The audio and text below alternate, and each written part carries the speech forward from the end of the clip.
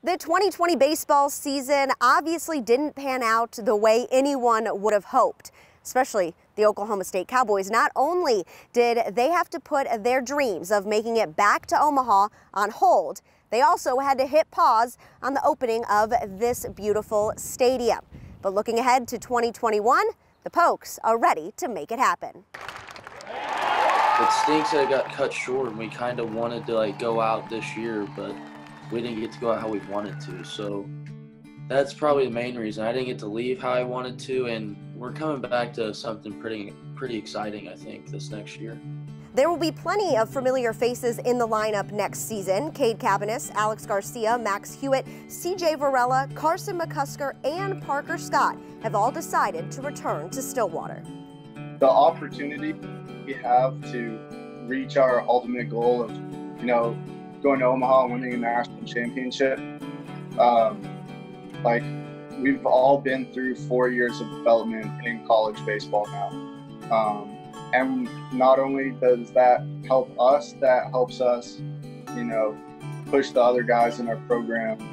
And, you know, we have a lot of potential to do to do good things because of it. I said, uh, like, if everybody's coming back, as in pretty much all the seniors we have, then, then I would come back too. And when everybody decided to come back, and I think we got like a pretty close group of of friends here, like in the senior class, so that helps. And I also want to play in this stadium really bad. Oh, O'Brate Stadium will be the place to be in 2021. These Pokes have their sights set on Omaha, and they believe they're going to be talented enough to get there. I think we're going to go into next year with great leadership, great experience all the way around, but just we'll have good talent. And I mean, it gives guys a whole nother year to develop and become better. So I think that's why I think we have a good chance. I mean, obviously, we're going to have to work, but I mean, we have a good chance to be a really special team next year. For many of these seniors, this time away from baseball has helped them develop an even deeper appreciation for the sport they love. It made me just appreciate the fact that like we it's we're very lucky that we get to do this. So kind of appreciate just the fact that we get to go do something like this more and you know, I miss it. I miss a lot. So and that's why there's uh, the whole idea of us coming back and going out our way. That's different than it being kind of taken from you. To say um, there's an appreciation for the opportunity would be an understatement.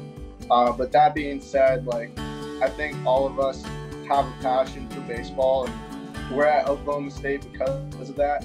And no matter what happens in the future, we'll all be able to, you know, have our hands in the game in some way, shape, or form, whether we're playing, coaching, doing lessons, or, you know, just visiting with each other. Um, we have something pretty special together, and I'm so glad that we're going to have another chance.